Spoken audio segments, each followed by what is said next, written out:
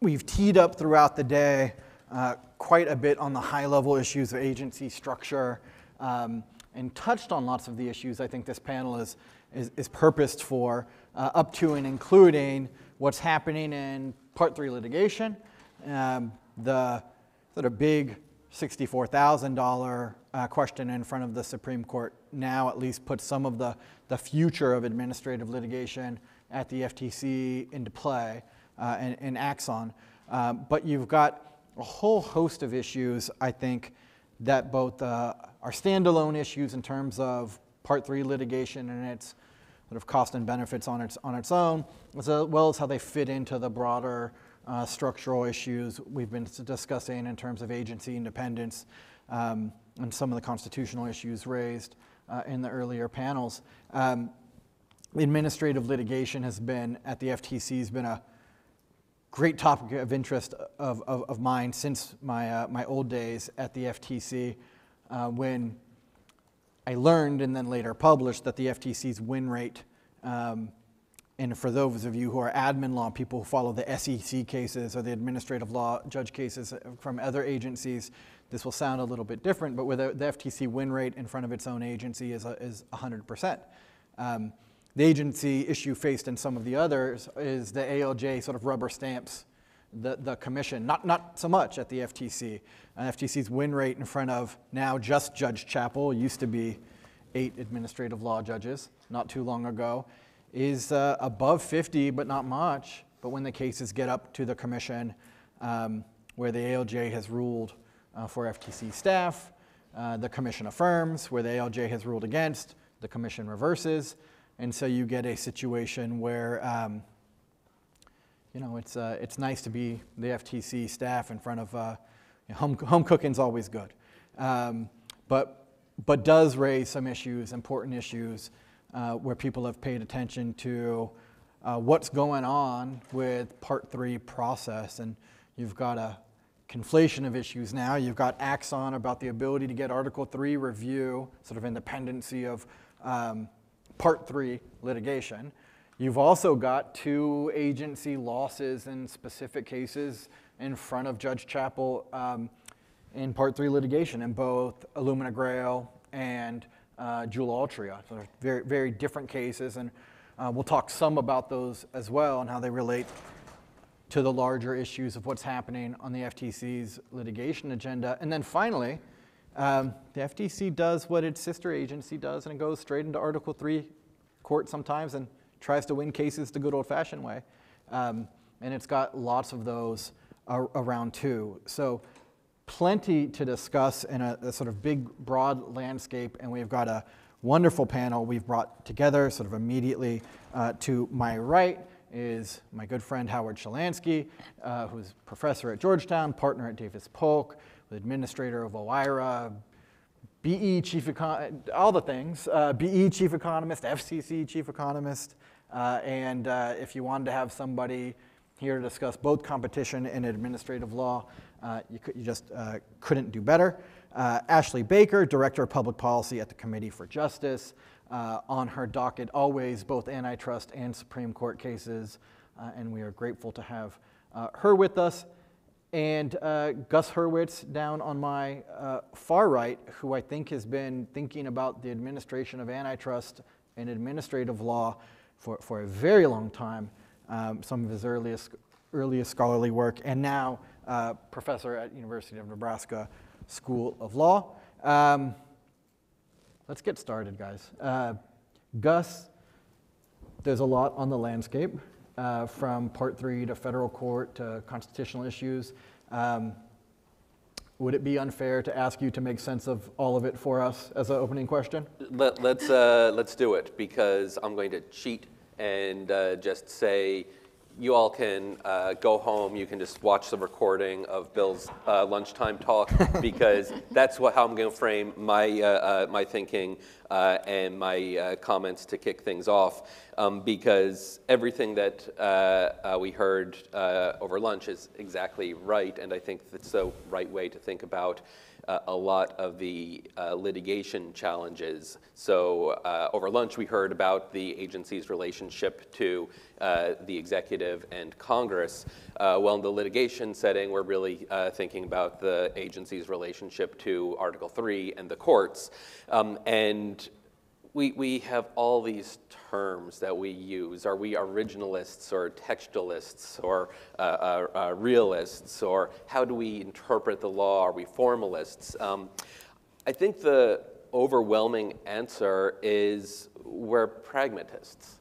When we're talking about the administrative state, the relationship between um, agency, agency adjudication versus Article 3 uh, litigation, um, the reality is agencies and the courts both know that neither of them is uh, the most institutionally competent in any given case, and it's a balancing act uh, to have the courts delegate agencies to act reasonably, bring reasonable cases, enforce those cases reasonably, uh, and uh, use congressional authority reasonably. And so long as the agencies are doing that, the courts are going to say, good job what you're doing is reasonable. You are helping keep government functioning. This couldn't work if we, the courts, had to micromanage um, everything that you do, if we had to review everything that you do. So if you're acting reasonably, if you're not abusing the power that Congress uh, uh, gave you, rubber stamp. Um, and over the course of uh, the 20th century, that is how the administrative state evolved and uh, developed. Uh, this was particularly true in the early years of the administrative state, uh, uh, uh, the APA, um, mid-century, the ascendance of the legal process school of thought in legal academia. Um, we want to put the decision-making authority in whatever entity is most best able to exercise that authority, um, and that's how the system works. Now, what's happened um, over the last couple of decades, we've seen this at the FTC, we've seen this at the SEC, we've seen this in many agencies, is agencies have started to realize, oh, wait, we've got all of this power that we could use not power that we need to use reasonably. We've got all this power that Congress has given us, and the courts have given us this Chevron deference. And the APA, we need to go through the entire administrative process before things can get to Article 3 courts. We've got all this power. Let's use it. Um, so we've seen uh, with the FTC, uh, extensive use of settlements and consent decrees uh, to develop bodies of law. That's what uh, uh, Mike was asking about at some level in his questions um, earlier. Um, we have the incredible win, win rate self-win rate uh, at the FTC. What's going on there? Well, we know what's going on there. Um, and because of the uh, finality requirements, because you need to exhaust all administrative remedies before you can get to Article 3 courts, um, it makes it really difficult for litigants to, uh, to overcome this great deal of power times deference that uh, the agencies have. So what happens when agencies start to abuse all of that great power they've been given? It's a balancing act. If they're not acting reasonably, the courts are going to start to say, well, we're going to need to tighten uh, our control over you, tighten in the reins. And that's what we're seeing with uh, the major questions doctrine, with uh, concerns about dialing in Chevron, and now with Axon. Um, and uh, uh Jennifer mentioned earlier, uh, we also have uh, the SEC case, um, Cochran, that have been, they've been paired together in the Supreme Court. Both of these cases go to this question of can Congress by statute require uh, agency uh, parties to go through the entire administrative process before they can get to court to challenge the constitutionality of uh, a uh, agency action. Um, and the, the answer is going to be, I'm very confident in Axon, no, if a uh, agency is trying to exercise unconstitutional authority or possibly, this is how broad will Axon be? Uh, uh, is a agency trying to uh, unconstitutionally exercise its authority? you don't need to uh, uh, go through this entire process before you can get to an Article 3 judge that is, who is able to exercise as a check on the unreasonableness of the agency's conduct. It's all about maintaining this balance. The current system uh, is out of balance, and what we're seeing is uh, uh, we're, we're, taking the agencies into the shop to get their tires realigned and rebalanced, um, and uh, the mechanics of the Supreme Court are going to be doing that. Um, I could say more stuff, but uh, that's boring, so back to you, Josh. Let me ask something before I, move to Ashley. I'm used to, in the uh, guess keeping with the, the car metaphor, in the antitrust world, the rebalancing, you know, the mechanic takes a really long time. Um, we get slow, gradual, sort of case by case uh, changes. And this idea, I think uh, Bill Kovacic said dur- during his keynote, you get, you get the deference you earn. Mm-hmm. Um, there's, a, there's a reading of these cases that makes me, the recent losses, both in front of the ALJ and Juul Altria, um, the question teed up in Axon and Illumina Grail, and I think six losses in federal court, pretty fast. Um, and it's been a while since we've talked about a, win uh, for either agency. Um, there's an interpretation of those losses that is uh, the world is responding to the agency earning less deference, not in the, the, the formal administrative law sense of the word. But man, that seems like a fast adjustment to me. And so I'm, I'm left at a little bit of a little, little miffed at how quickly that adjustment has happened. Do you read the ALJ losses, the sort of challenges they're facing as a, as a response to something the agency is doing or to secular sort of outside of our little antitrust world changes? Interesting question. I, I thought you were going to go uh, in a different direction? Um, I, I think my answer is no. I'd like I, you to ask the question you thought of too. Okay, okay. uh, so uh, I might have already forgotten it. Um, but my, my answer to uh, uh the question is actually, I think no. I don't think that uh, current, that the uh, ALJ cases, certainly not, and I, I, don't think that the judicial losses are responding yet to this. Um, I think that the, the real judicial slapdowns will come from uh, the Supreme Court uh, primarily, uh, and uh, maybe some circuit court losses on appeal. But I, I, think what we're seeing is overly aggressive enforcement actions where you're going to lose because you're bringing bad cases, not because there is uh, some recalibration um, going on. Uh, and I, I, think if we look back to the Supreme Court um, in the early uh, 2000s in cases like uh, uh, Trinko and Credit Suisse, um, where the court was talking about uh, the relationship between antitrust and regulation. Um, the, the court kind of expressed two competing uh, uh, ideas, um, which I've argued summed together to be uh, this idea of why call administrative antitrust, that the, the Supreme Court actually would prefer um, the agencies uh, to be developing antitrust norms because there's some lack of comfort with the idea that antitrust is this one exceptional area of the law where we have uh, judicial federal common law developing these norms.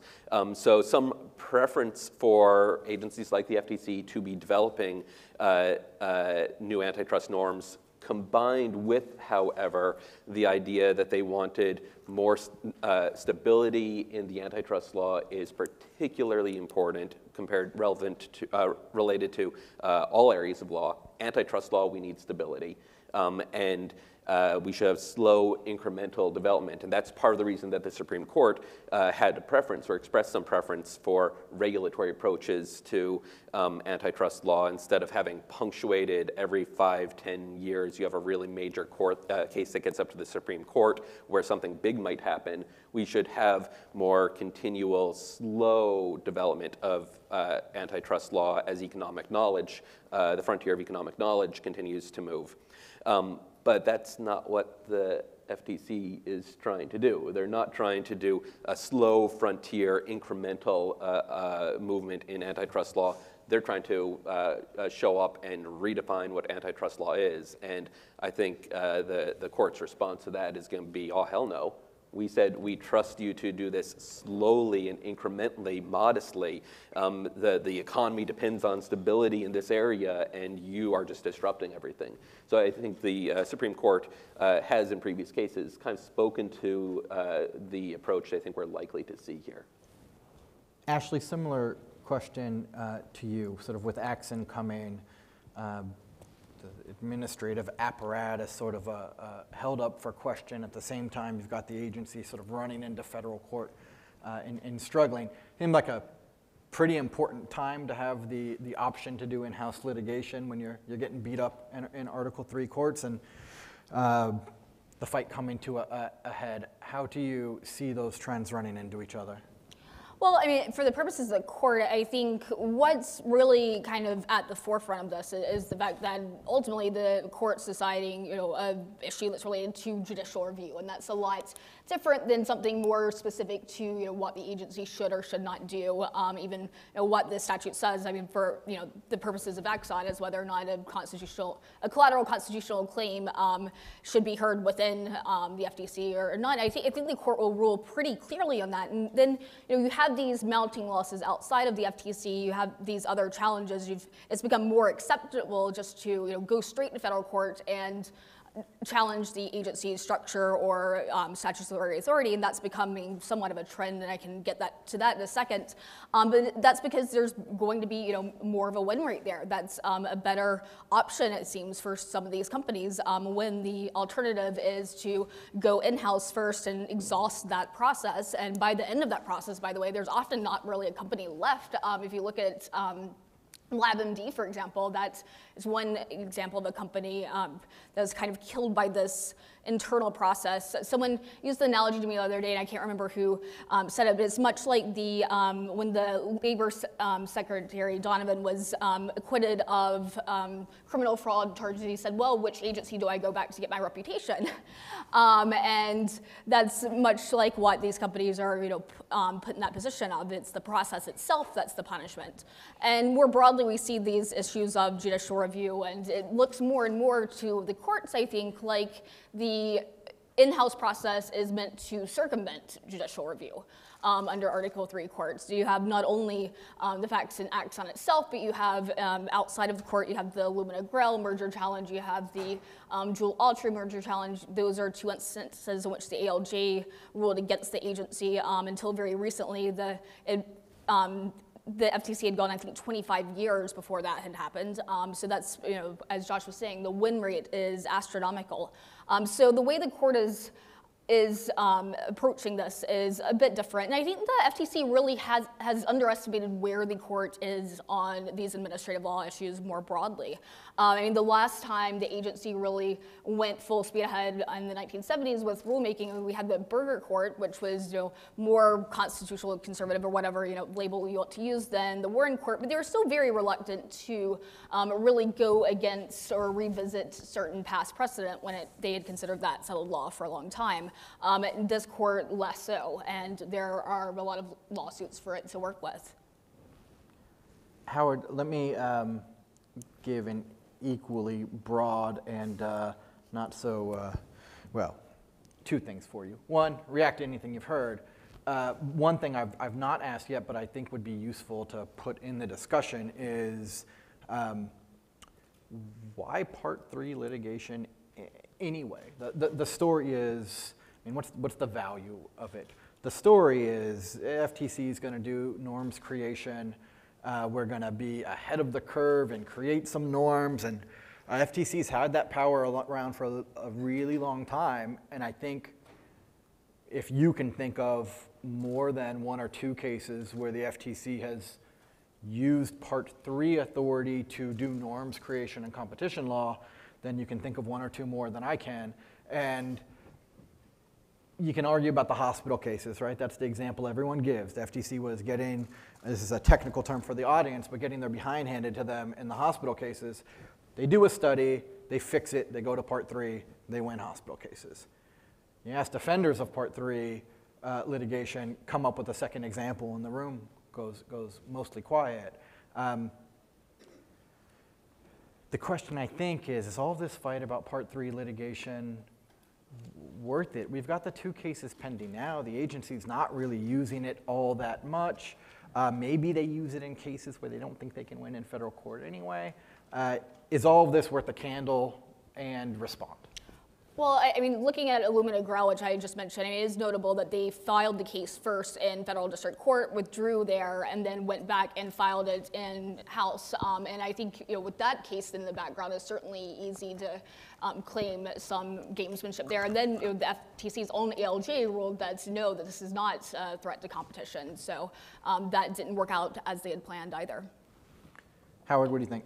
Uh, Look, I, I think that the Part Three structure, you know, obviously it, it's an old statute, and there were some very clear motivations for putting the Part Three option in place uh, in 1914 and subsequently preserving it, uh, just because there was a sense that antitrust enforcement um, by the Justice Department of the Sherman Act had been lax Uh, you know, in the, in the early days. So I think creating a more administrative structure, particularly as pertains to mergers, sort of was an understandable thing for Congress to do when they did it. In terms of what the use of Part 3 has been, again, I think, you know, there's a very theoretical argument one can make that it's for norms creation. It's for figuring out what that set of behaviors are that will violate Section 5 that fall outside of the Sherman Act. So this sort of, you know, um, ill-defined set of cases that are beyond the Sherman Act and within Section 5. But I think as Josh says, that's not really a place that the, uh, uh, where, where, Part 3 courts have played a big role. But, but let me just throw this out there as a possibility. The knowledge of parties coming before the agencies that there is this Part 3 administrative option when the agencies are pursuing somewhat novel claims. And again, the list is fairly short, but if, we think about invitations to collude as an example, um, the norm against invitations to collude and the warning shot that parties doing this would be called into the FTC and investigated and possibly put through an expensive um, compliance process and then have to, you know, sign some kind of injunctive consent decree was backed up by the knowledge that, you know, the agency could, if you refuse to play ball, go to part three. So it's possible that part three plays an important role as sort of a last resort that has enabled the agency to do some of the things it's done by settlement. I'll give you another example beyond uh, the invitation to collude cases, which you know you can't get to under Section One because you know you need a completed conspiracy. Um, so that's an area of a maybe true Section Five conduct. When the FTC was investigating Intel, uh, you know, between 20 and 10 years ago, the kinds of loyal dis- loyalty discounting issues were not well settled in terms of where they fell under Section 2 of the Sherman Act. And so it's good for the FTC to have the Section 5 authority to go in and look at these share based loyalty discounts and to sort of push, uh, push Intel uh, to come to some kind of settlement, creating norms that share based loyalty discounts were going to attract attention. Again, that didn't go to court, but it could have gone to Part 3. A complaint was drafted. So um, I think that the Part 3 courts may play a role beyond, or the Part 3 process may play a role beyond what is evident from the results of actual ALJ hearings. So that's just one thing that I, w- that I will throw out there uh, as a possibility.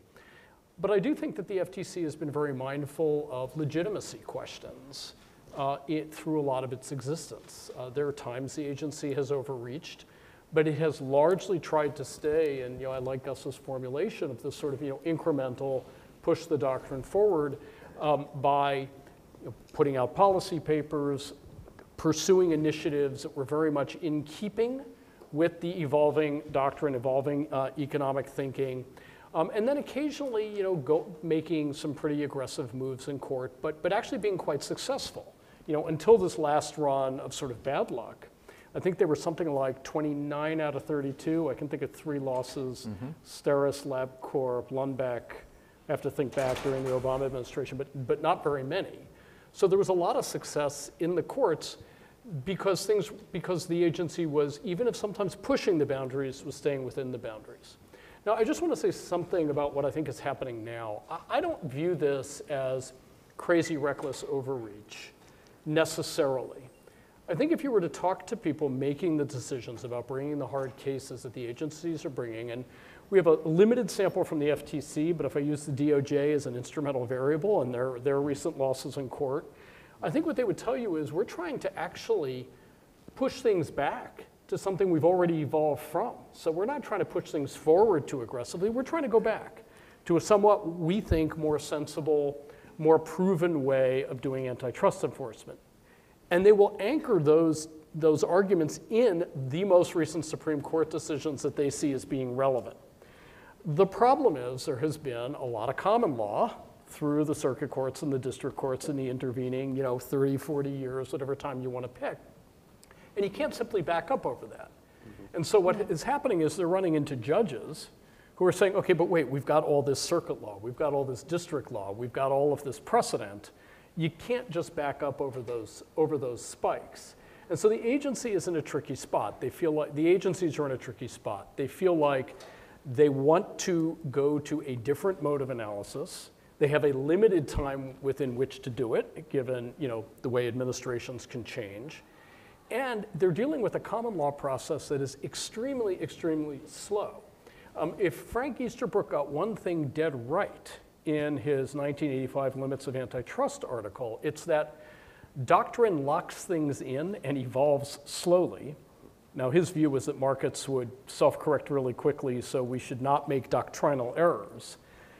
In the view of the current agencies, and there are areas in which I personally believe them to be, to be correct, um, areas where I don't think they're correct, the doctrine has locked in some pretty uh, heavy burdens on plaintiffs and an anti enforcement tilt that they want to correct. But what tools do they have? Either administrative tools at the FTC, let's resort to rulemaking, let's resort to novel cases in part three, or taking their chances with, you know, on a flyer with a very aggressive argument in the federal courts that, that they're going to, to reject. And I think this is a very hard place for the agency to be because I think there just isn't a clear mechanism for the agency to shortcut the doctrinal evolution project process. And I think that's what they're running into with these losses. And I think if they try to do it by rulemaking, I, I don't have the benefit of having heard Bill's speech during lunch, um, so I risk saying something that sounds completely foolish and certainly not as good as what Bill would have said. But, but I think that the agency is walking on extremely, extremely shaky ground when they think that they have rulemaking authority for unfair methods of competition rules as a way of achieving through regulation the doctrinal shift that would take years to occur in court. I agree, and I, I, would, for the most part, agree. And I, I, would add that there's a big difference between what the FTC and the DOJ are doing right now, though, and that um, the FTC, particularly their focus over the past year, really has been less on bringing cases and more on, I mean, like you said, the FTC has over the years had to rein itself in every two decades or so. Um, they do something that pushes the boundary, and Congress um, kind of gives them a slap on the wrist, and they develop some internal processes and procedures that set some boundaries. And um, for the first year of the Biden administration, the FTC seemed really focused just on taking down those guardrails, um, such as the 2015 um, Section 5 policy and other um, policies and procedures that they had kind of developed for the, you know, the safekeeping of the entire agency itself. So one thing that comes to mind, I'm going to say something that makes me very, very uncomfortable uh, from uh, uh, Howard's comments in particular. Um, one of the challenges that the agencies face right now is we're dealing with different types of firms and different economic theories that are competing in new, novel, hard to understand ways, uh, multi-sided markets, the Amex case, I expect that's one of the ones you were, you're referring to with the, uh, the, the burdens. Um, uh, lots of conglomerate activity and uh, add in the international competition to regulate and uh, uh structure these markets. And the thing that I'm going to say that makes me uncomfortable uh, is I don't know that antitrust is the right lens to look at this sort of behavior um, and even this sort of competitive behavior. I think antitrust law is really good. We've got uh, really well-developed uh, understandings of certain types of behavior and how to deal with uh, clear vertical, clear horizontal uh, uh, conduct. And when we're getting into this more complicated stuff, I worry about uh, throwing the baby out with the bathwater sort of concerns when the, the agencies start trying to regulate enforce, regulate, I'm not sure what the right word is, uh, competition in these new markets uh, uh, that the antitrust agencies, that antitrust law is the right way to do it. And the, the reason that that makes me really uncomfortable is because that kind of, op- it doesn't kind of, that opens the door to the question, well, if we're not doing it through antitrust, uh, so, so Hurwitz, you're telling us we should be just regulating these industries? And I- I'm not comfortable with that um, either, but uh, I, I don't know that uh, antitrust, uh, that we will be able to get to where we want or need to be in these new markets through a common law or part three or norms development sort of approach. So let me, I'll, I'll answer, it's, it's, it's a really important point you just made, Gus, and I want to respond in a couple of ways. So, so the first thing I would say is, I'm not ready to give up on antitrust as being effective for new kinds of industries, new kinds of technologies, and um, you know, the economic activity that may be hard to detect or fully understand for a while. I, I do think that uh, there has to be a willingness to take some risks with antitrust that have not been the direction that the doctrine has gone, um, I would say, since you know, the early 70s. And so we would have to reverse a little bit of our error cost uh, analysis and not worry so much about over enforcement. Decide that as a policy matter, we don't know everything that these new technologies might do. We don't know everything about this new economic behavior. But we do know that it should make us more concerned about under enforcement if we believe that these are going to lead to durable effects on the economy, whether it's durable monopoly, durable path dependency in technologies. And I think that part of what we're seeing the agencies do is actually take that view. We are going to shift our presumption in favor of avoiding errors of under enforcement. So we see uh, cases of you know, allegedly nascent co- competitors being acquired and challenges to those deals.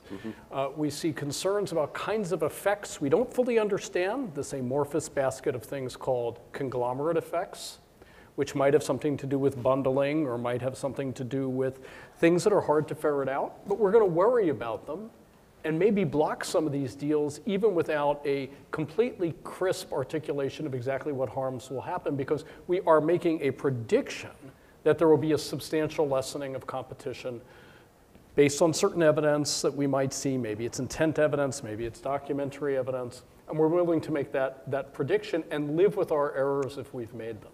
So there's a policy choice embedded in all of this. It just says we need to kind of tilt antitrust in that direction. And if one accepts those risks and those losses, then antitrust can work. And then we may learn over time that we've made mistakes and adjust it backwards and forward. The other response I'll make is as to regulation, you know, I, I am not a great fan of regulation when there are good options for competition to perform the regulatory function. But I view regulation and competition as, and, and antitrust enforcement as complements. And my concern about regulation is not so much theoretical government centralized uh, intervention as just the practical and pragmatic drawbacks and the, the historical track record of rather poor performance of a lot of regulation, I'm speaking about economic regulation. So I tend to like to avoid it where possible. But I think that certain kinds of new industries that are evolving um, are ones where we might see a good complementarity between this antitrust enforcement that's trying to figure out how to gear itself to these and certain kinds of regulation. Now, this is where I'm a naive optimist, and you'll tell me I'm crazy, which is I do believe there's certain kind of you know zero price, light-handed interconnection, interoperability regulation that can be put in place. Um, I think we've seen that proven out in certain areas of uh, telecommunications regulation and other things. And I have faith that Congress, courts, and a responsible agency will avoid the slippery slope of overreaching and regulating everything. But I recognize that history may not be on my side with that. You can tell your employer is Georgetown, not George Mason, because you immediately lose tenure at Mason. it's the way it's the way it goes. This is the only time you've ever been on my left. I'm gonna steal Andy's joke. To them, I'm on I'm on your right. Uh, let me. Um, I, I like this point about uh, recalibration of policy and sort of what it means. Maybe these cases are. I won't say harder, but you know, different because of the technologies and so forth. And so we get a, a recalibration, and you know, you got to bring some cases, and maybe you frame that in terms of the way I think about cost of errors. Maybe you frame it in, in uh, difficulty of ferreting out the effects because it, it's, hard, it's hard to know. I think a really interesting but also challenging point for that view is, is the following. Um, there is a case in federal court against every tech company that you can think of, and some you can't, uh, joined by 907 states uh, and suing you, you, know, everybody for everything. Um, red states, blue states, the federal government, the FTC's in some of those, the DOJ's in some of those, um, against every tech firm. Clearly, under the belief, I, th- I, think, that under current law, they think they can, they can win. Uh, now, now, those cases will be resolved sometime uh, three Olympics down the road.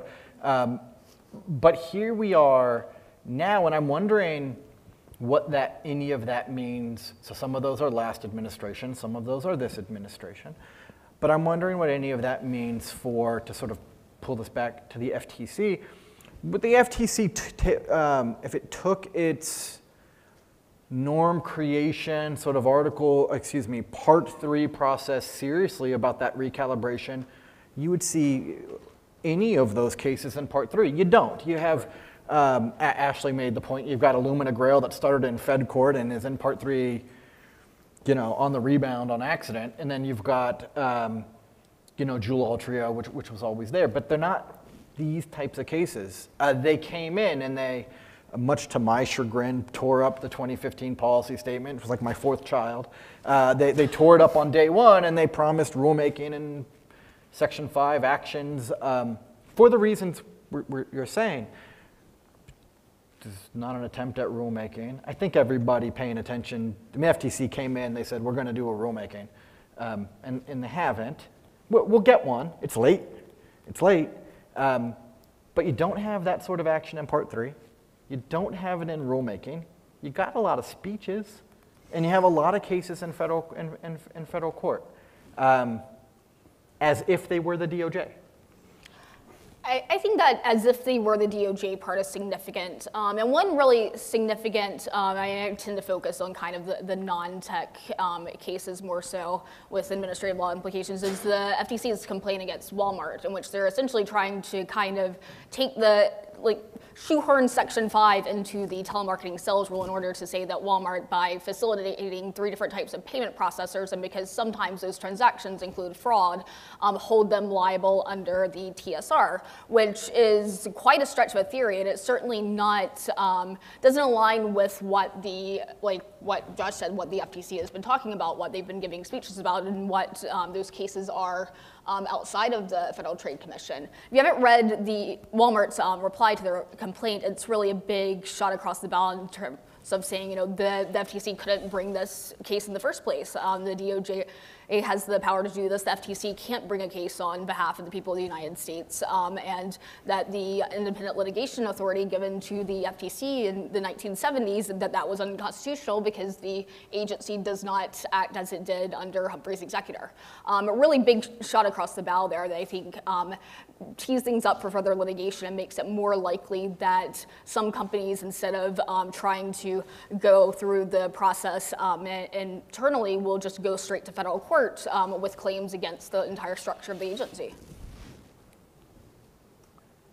You all are looking at me as though you want me to say something. Yes. If you want to. um, I actually had had something they wanted to say, and I just uh, uh, blanked on what it uh, uh was. Um, so I'm not going to say something until it comes back to me. All right, let me ask. Let me ask the the, the, can I can I respond to yeah. your point though about you know Look, I think I do think that the agency, let, us be mindful that, you know, well, you, you say it's getting late, but, you know, they haven't, they haven't been there all that long. And Late in the sense on the back end, not the front end. Late on if they passed a rule tomorrow, Understood. the idea that they're in power when it gets through is Questionable, right? Understood. But I, I guess what I would say is, is first of all, I have more optimism on that front than you do. And the, um, but the second point that I would make is um, uh, rulemaking is hard.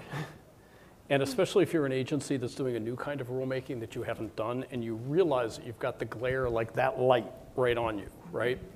So I have a feeling that they're going to want to make sure the first rule they put out there is a really good rule, that it's carefully documented, narrowly tailored, will survive all kinds of APA re- review. And here's why I think they want to be very careful about that. They know well that they are going to get a challenge to their authority if it's a competition rule, even if it is the most sympathetic, well wrought rule against non-competes for unskilled labor or something like that, things that you know, deprive people of their livelihoods unjustly. You know, you're a sandwich maker, you get a 15-hour job, hour, hour job and you can't work at another sandwich store, ridiculous, right? They want to have a rule that's carefully documented, carefully analyzed, and very sympathetic, so that when it gets struck down on authority grounds, they can say, this is absurd that we don't have the authority to do that. So I think they are being very, very careful and strategic, at least I have no knowledge, I should be clear, like I have zero behind the scenes knowledge. I just speculate that there's some smart people at the FTC. We may disagree with many things they do, but they are smart people. I'm hoping that they are strategic in that way, and that explains the delay. If that's not what's happening, then I think you're right. It's too late, and they have a real problem. So I, uh, I, I thought, Howard, this is where you were going to go. I'm glad that you didn't because this is what I had wanted to say before. Uh, so what, one thing that I think we need to recognize uh, on the delay side is they uh, didn't have a three commissioner majority um, until relatively right. recently. Um, and uh, in the last couple months, we've started to see stuff uh, uh, start to roll out. I expect, as Howard suggests, we are going to see uh, probably in the next month or so a UMC rule uh, proposal on non-competes. Um, the agenda for the next open com uh, commission meeting was released today. It has three more ANPRs. Mm-hmm. Um, so they're, they're definitely starting to push through uh, much more aggressive uh, rulemaking.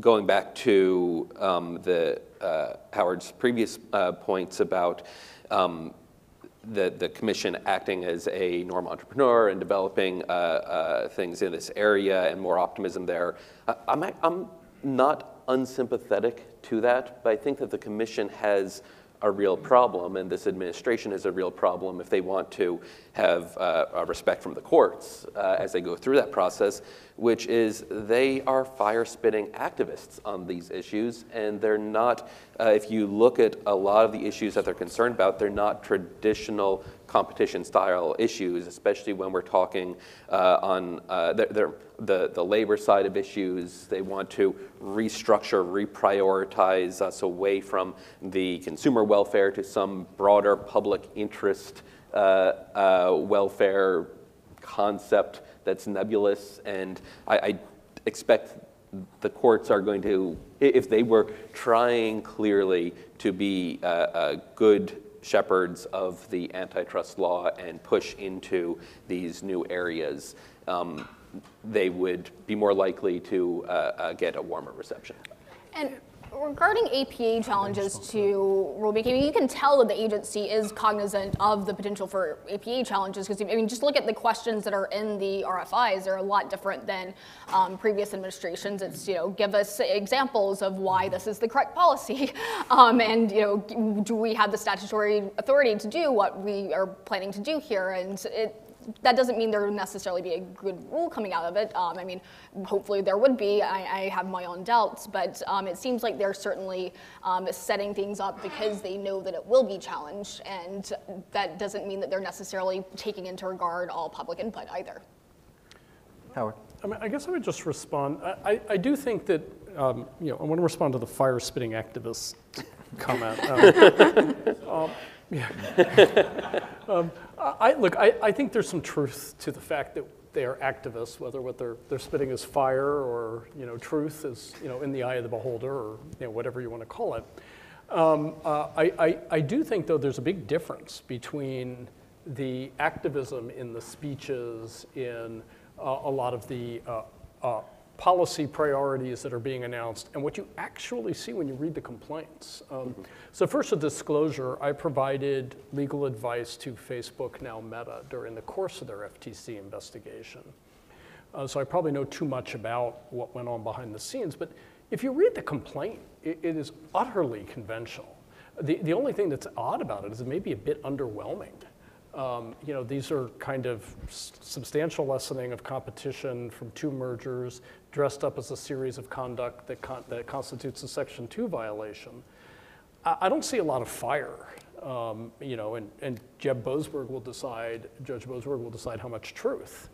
Um, but again, you know, I think that, you know, to the credit of the agency, I, you know, will not talk about all of the things they consider. It was a serious investigation that they undertook under relatively conventional criteria.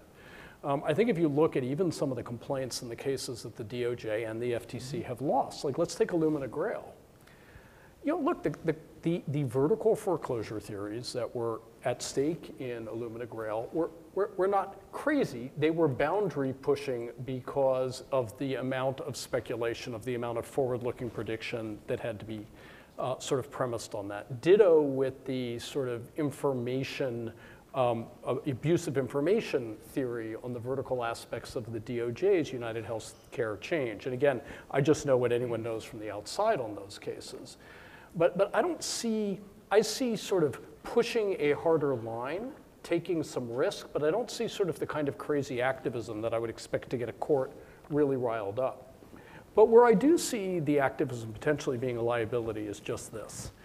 In the atmospherics of how any court is going to think about the FTC's or DOJ's level of judgment in bringing a case. And there's always a little bit, especially at the pleading stage, of, you know, how much caution, care, judgment, how well thought out is this?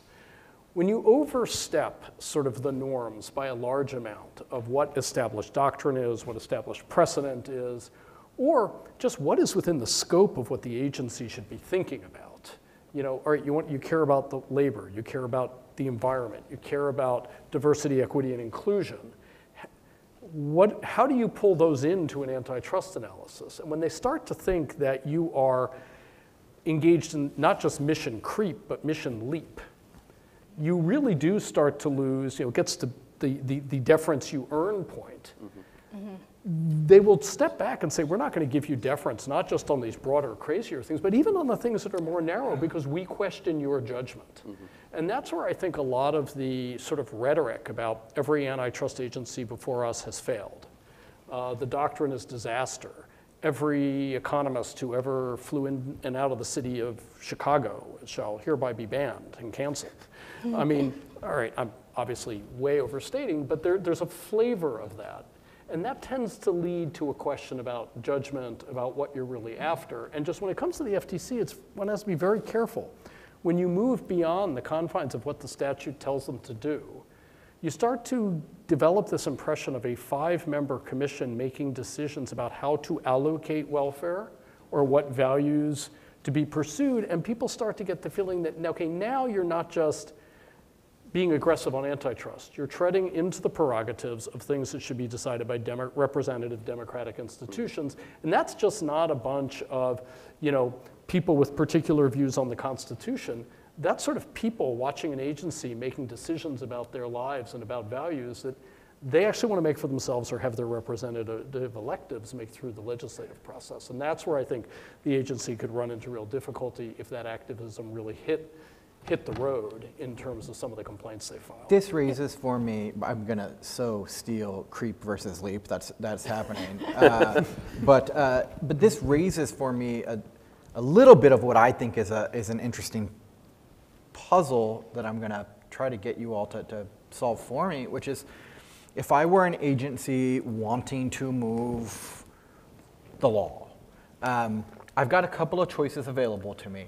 Run into Article 3 courts, make circuit splits, sort of make law the old fashioned, slow way, a la um, Jon Leibowitz's FTC in the reverse payment cases, right?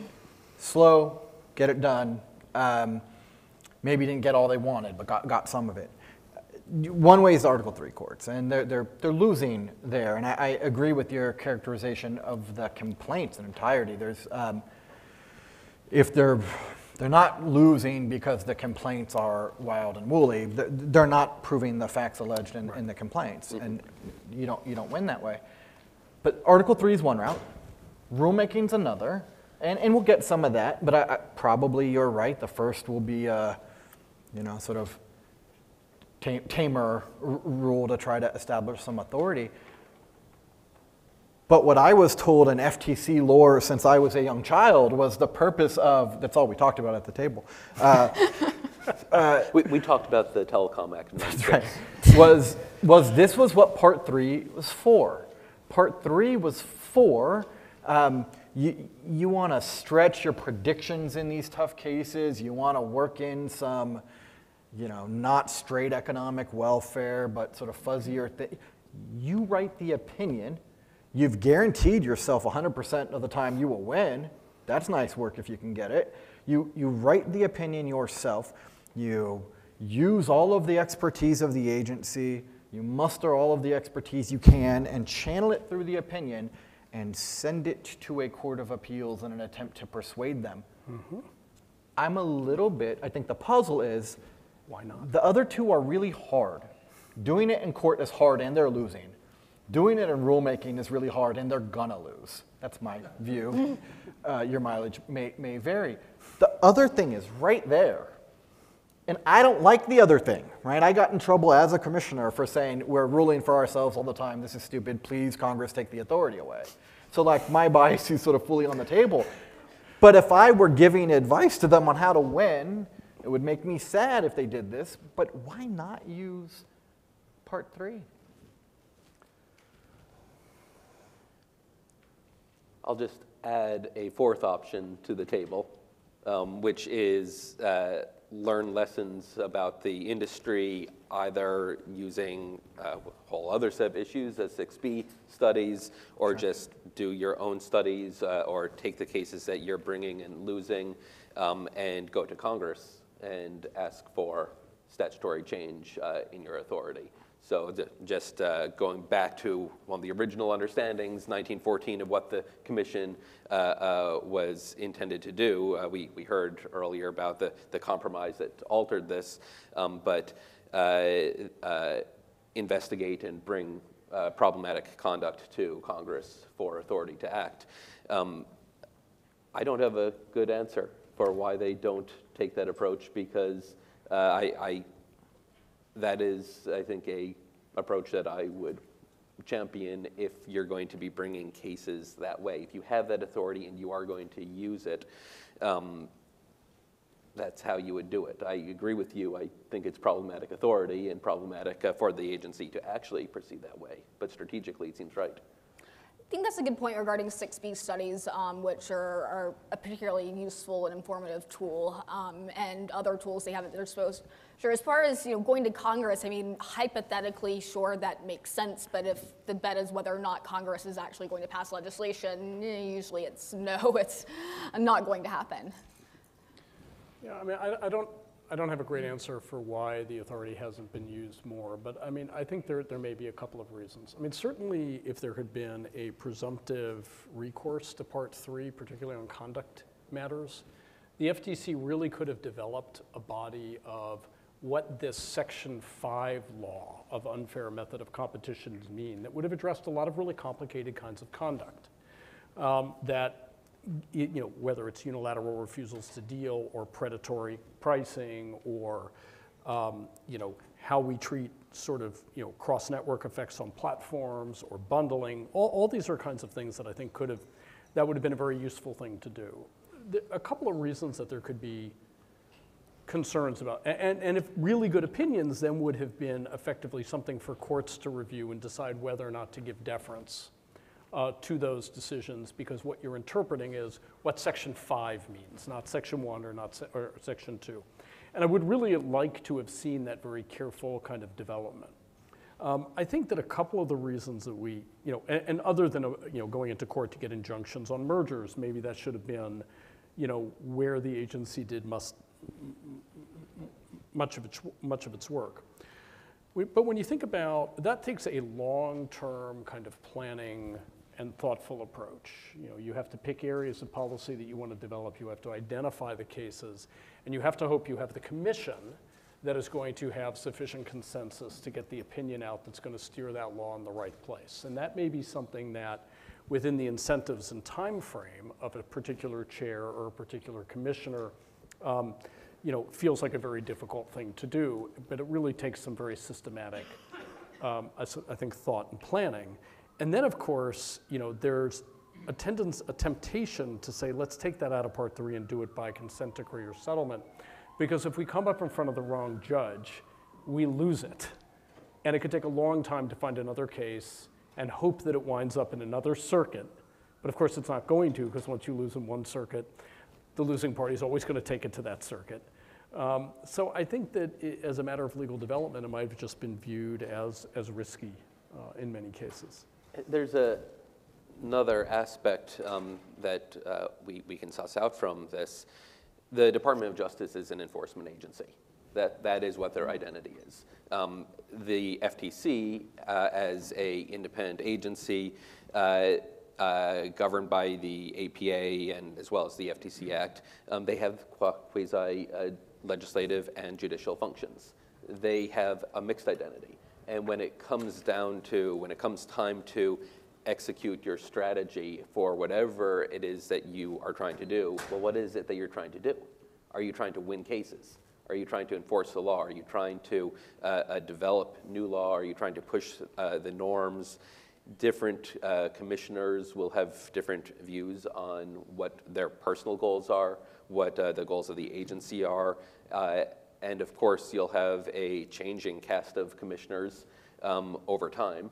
Uh, so you're going to have inheriting priorities or inheriting things that have been queued up pursuant to previous commissions' uh, uh, priorities. So figuring out how you actually want to dispose of the cases is uh, a- a really uh, uh, much more complicated uh, equilibrium than for a pure enforcement agency or a pure legislative entity. So we've got the three pending, sort of emerging out of that process now, right, at different stages, right? You've got Axon in the Supreme Court, you've got uh, Illumina Grail, and you've got Juul sort of with, both with ALJ losses, sort of going to the, uh, coming to a commission near you uh, soon.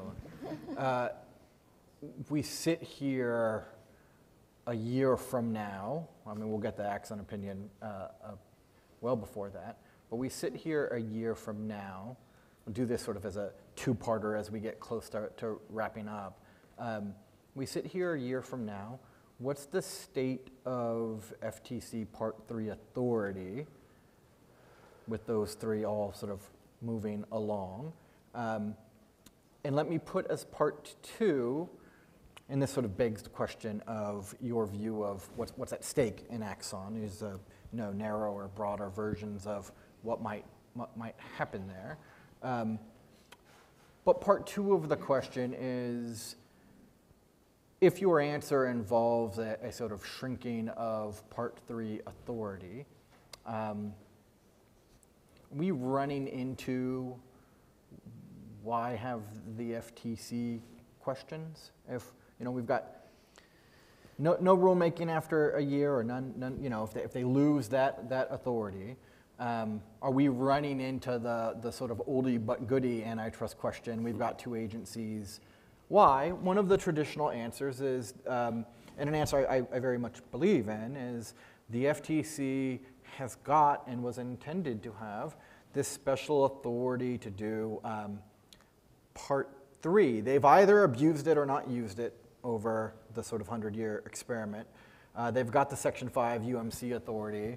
Maybe they'll use it for rulemaking. Maybe a year from now, a court will say, no, you can't. Um, are we are we running it? Is that the subject of next year's year's conference? Is rulemaking's dead? Part three is uh, dying. Should we just sort of kick the uh, antitrust authority into one agency? I won't make you tell us which one.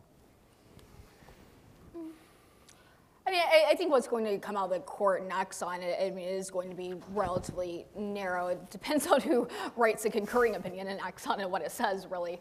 Um, I, I think there'll be a lot of, you know, conversations surrounding that. It depends on what sorts of cases the agency continues to bring. Um, I mean, if they keep going in the direction they were with, you know, the complaint against Walmart, for example, which, I mean, that's not in-house, that's in federal court, but um, that sort of creative claim, I don't see this um, ending very well for them in a year from now. Um, but I, I don't think the Axon opinion itself is going to be very broad in scope. So there are a, a number of possible outcomes in Axon. I'll uh, mention a, a couple of them in a moment, but I, I think that my bottom line is I don't think it's likely to affect the part three question. So possible uh, outcomes, first, uh, the court uh, could say, uh, no, Axon, sorry, you need to, we're not going to uh, uh, alter this uh, uh, statutory framework. There is no right to get uh, your constitutional challenges before uh, this Article 3 judge prior to exhausting your administrative remedies. Um, that certainly is possible. I think it's very unlikely. Uh, the court narrowest holding could say, yes, there is, remanded down to a district court judge, and in another five years we'll uh, uh, deal with Humphrey's executor. Uh, the court could uh, be broader, and the, the goal of Axon and uh, uh, several others in similar challenges is to uh, challenge Humphrey's executor and the constitutional structure of the agency. Um, and I uh, agree with the discussion earlier today. Uh, I don't think that Humphrey's executor uh, is nearly as magical or has the weight that we tend to give it. I don't think that we would substantively see much change. Um, the another possible outcome from Axon, and this is where I think the most interesting possible uh, uh, set of developments would be, um, is uh, you do have the authority to uh, challenge not just the structure of the agency, but raise any constitutional challenges uh, to uh, uh, the agency's underlying theory and case. In which case, we are going to see a whole lot of folks uh, raising major questions doctrine issues before district judges. Um, and that has the potential, I think, to uh, be the most disruptive and would go potentially to limiting the overall scope of the agency's authority.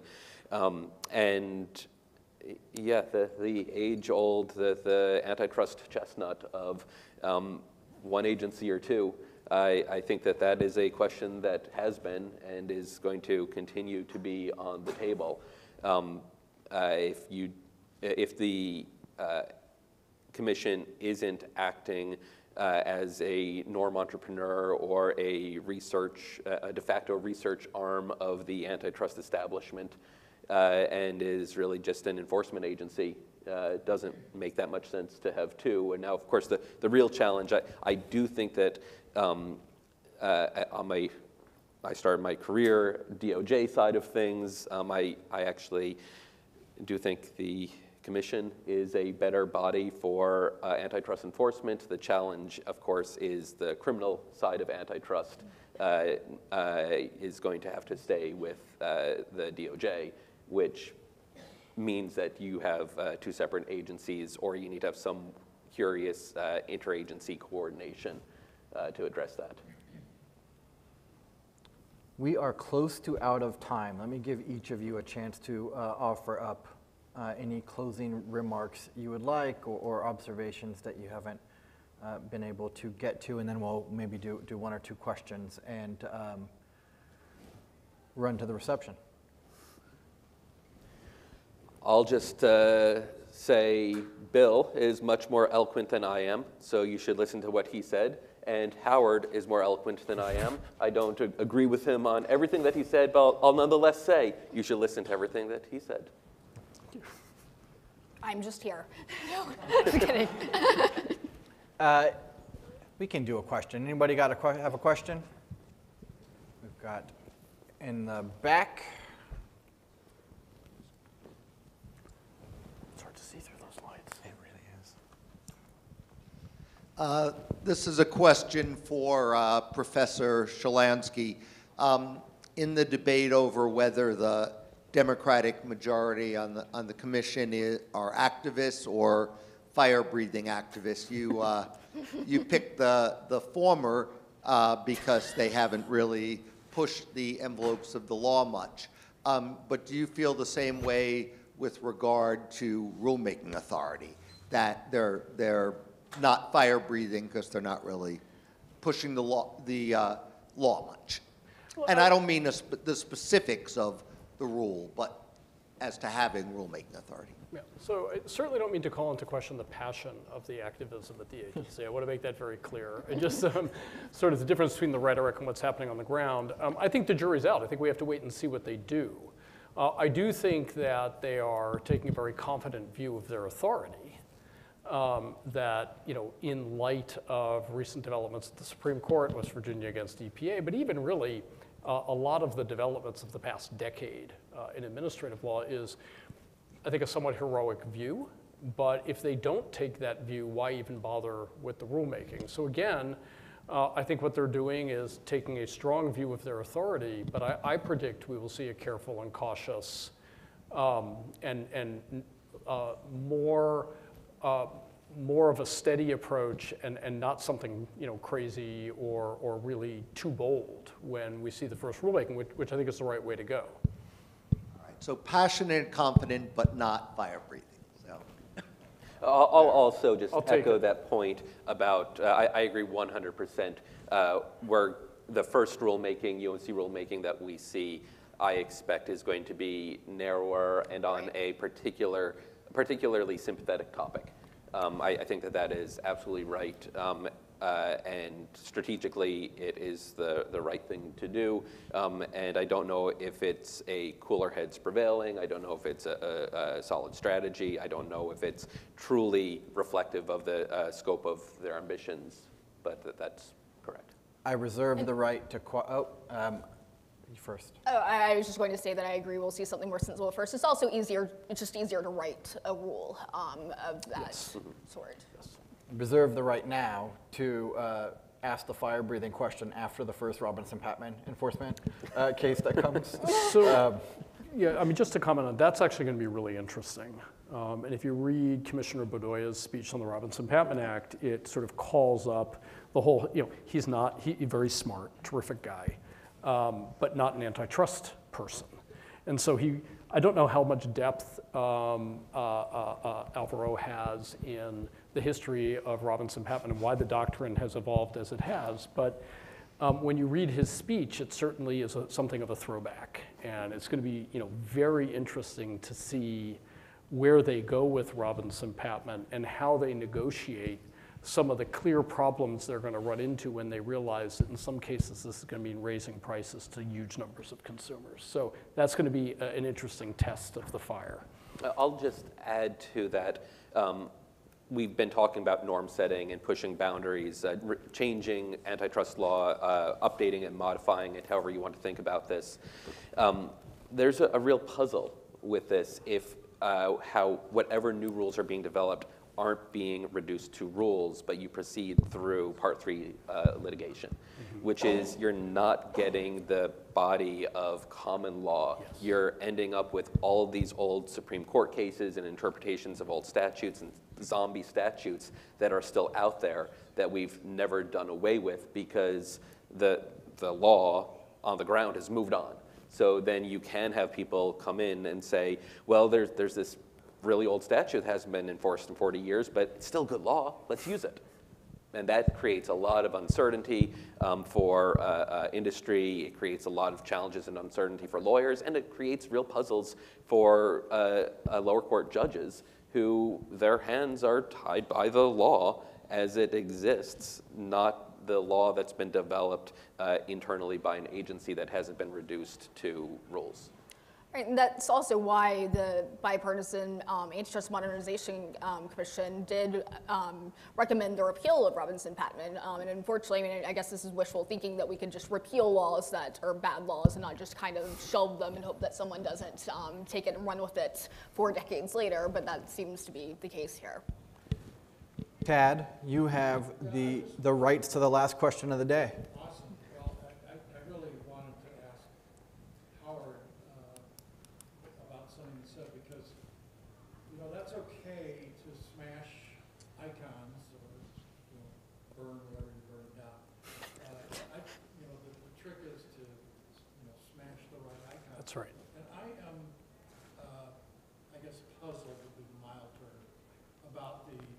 uh, assault on vertical. And we've had, uh, I guess, NVIDIA ARM, we've driven out, we've had Lockheed Martin, Aerodyne. Aer- Aerodyne, Rocketdyne. mm. We've got, and now we've got, I think Illumina Grail is really the most puzzling, because here you have a little startup that was started up by the acquirer. It- It's like, we've assigned you to go see if you can come up with a a test for, for early cancer detection. Okay, you know, the, here they come, running back, saying, okay, we did it, now what do we do? Do we do an IPO, or would you like to buy us again? And, and the commission, it, it, it- it's sort of remarkable, uh, the, sort of the vertical assault in general is remarkable. But what really bothers me about Illumina Grail in particular is how do you, how do you say that the, that the complaint is not really a per se rule against vertical integration? Yeah, And particularly where the factual context would, would, would, you know, contradict that approach better than almost any vertical case I can name. Yeah, I mean, look, I mean, Illumina Grail, and again, I don't know all the facts, and, you know, certainly the European Commission has come out differently, so, you know, there may be facts that are more compelling that I'm, that I'm unaware of, but, but I would just say this. It, it does look on the surface like it was a, a risky case to bring because you're, you're trying to do two things. You're trying to push back on vertical, where there's, there are more plausible efficiencies, I'll put it that way. And you're dealing with this almost sort of nascent technology that itself had some competitors, um, you know, that, that in unrelated technologies for multi, uh, multi-cancer detection. So, uh, so it seemed like they were biting off a lot there. Um, it seemed risky. But I would just say this about vertical. The icon that they're smashing there is the presumption of efficiencies from reduction of double marginalization. And I think the argument that they would make is this has been too readily and reflexively presumed to allow vertical mergers through. We need to push back on that because there have been vertical harms that have been undetected. Clearly, we're missing something by focusing on that efficiency. And so they're going to overshoot the mark on some cases because, you know, it's true, there's a lot less reduction of, you know, elimination of multiple margins than has been presumed. But there still is sometimes elimination, maybe even often, of multiple margins, so that you know you can overshoot in pushing back. And so I, I understand the instinct to look more carefully at vertical. They just haven't found the ana- full analytical picture that I think fills in and replaces what was there before. I, I don't necessarily begrudge them for trying to be more aggressive there, but agree with you that you want to pick those cases carefully, so you don't come up with a per se rule against vertical deals. And with that, a um, couple things really quickly. Uh, thank you, all of the uh, CSAS and GAI folks who have helped all day, uh, to Jen and uh, Mascot and Adam White, uh, and to all of our speakers. And please uh, join me in thanking our panelists. Thank you.